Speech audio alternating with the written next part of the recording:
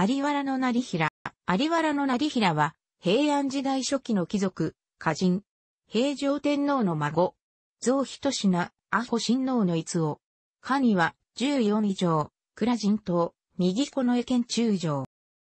六河川、36河川の一人。別称の在後中将は、有原の氏の逸王であったことによ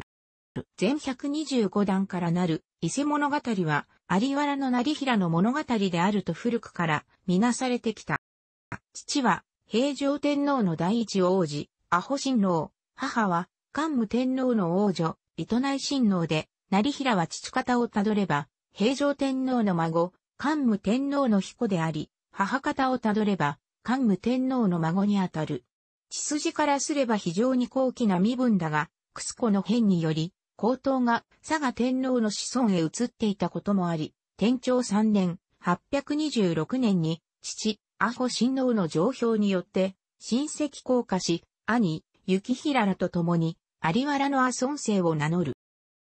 人志明朝では、左近衛証言に蔵人を兼ねて、天皇の身近に仕え、人志明朝末の歌唱2年、849年、6から15位下に直叙される。門徳天皇の代になると、全く昇進が止まり、官職についた記録もなく不遇な時期を過ごした。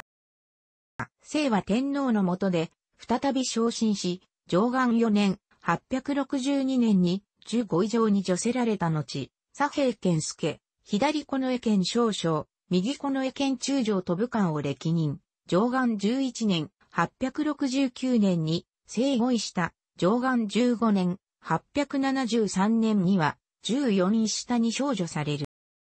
陽勢朝でも、順調に昇進し、元行元年、877年24位以上、元行3年、879年には、蔵人頭に除任された。また、門徳天皇の巫女、これ高親王に仕え、和歌を立て祀るなどしている。元行4年、880年5月28日、即居。去年56、最終官位は、倉人東14位上皇右近衛県中条県、美濃門森。日本三大実録の卒伝に、待望、関霊、宝生不幸と記され、昔から美男の代名詞とされる。この後に、略無才学、前作赤と続く。基礎的学力が乏しいが、和歌は素晴らしいという意味だろう。歌人として古今和歌集の30種をはじめ、直線和歌集に87種が日集している。この棟梁、茂春、棟梁の子、元方は皆歌人として知られる。兄、雪平友ども高狩りの名手であったと伝えられる。早くから伊勢物語の主人公の、いわゆる昔男と同一され、伊勢物語の記述内容は、ある程度成平に関する事実であるかのように思われてきた。伊勢物語では、門徳天皇の第一王子でありながら、母が藤原氏ではないために定位につけなかった、これ高親王との交流や、清和天皇女房で、後皇太后となった二条公、藤原高子、これ高親王の妹である、伊勢西宮天使内親王とみなされる、高貴な女性たちとの近畿の恋などが語られ、先の宝生不幸、物事にとらわれず奔放なことという描写と、相まって、高見ことの生まれでありながら、反体制的な貴公子というイメージがある。なお、伊勢物語成立以降、天使内親王との間には、密通によって公開し直が生まれたという説が派生し、以後高品氏は、成平の子孫ではないかと噂された。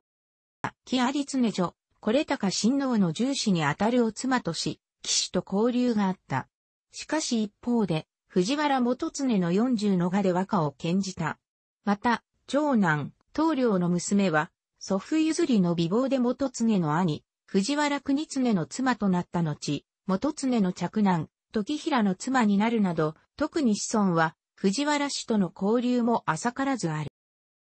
また、成平自身も晩年には、蔵人頭という養殖にもつき、クスコの変により、敗退死させられた叔父の高竹親王など他の平城系の皇族や、あるいは当時の藤原氏以外の貴族と比較した場合、むしろ、兄、雪平友ども政治的には中枢に位置しており、伊勢物語の昔男や日本三大実録の記述から伺える人物像と実情には相違点がある。中期のないものは、六国史による、直線は歌集に80種以上入り線した六河川、36河川の一人ではあるが、次戦の歌集は存在しない。現在伝わる、成平集と呼ばれるものは、五千和歌集成立以降に、成平作とされる短歌を埋めたものとされている。成平の歌が、再首された歌集で、成平が生きた時代に、最も近いのは、古今和歌集である。また、伊勢物語は、成平の歌を多く使った歌物語であり、成平像にも大きく影響してきた。以下の歌の中にも、伊勢物語の中でも重要な段で登場するものも多い。しかしさほど成立時期に隔たりはないと思われる古今和歌集と伊勢物語の双方に採された歌の中には背景を説明する言葉書きの内容がそれぞれで違っているものや歌自体が微妙に変わっているものがある。